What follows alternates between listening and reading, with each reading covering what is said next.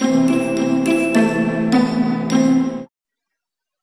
friends. Uh, if you want to change your audio's output sampling rate you just understand 44.1 kHz is recommended for playing CD if you want to play the DVD you need output output sampling rate 48 kHz and if you want to play the DVD audio you need 96 kHz so for changing uh, this setting uh, just go to HD audio manager.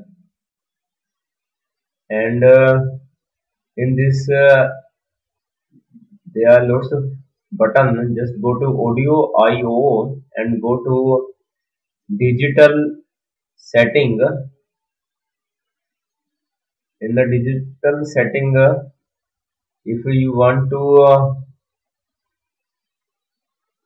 play CD you need this 44 if you want to play DVD you need this. If you want to play DVD audio you need this and then OK. And uh, then OK at here. Thank you very much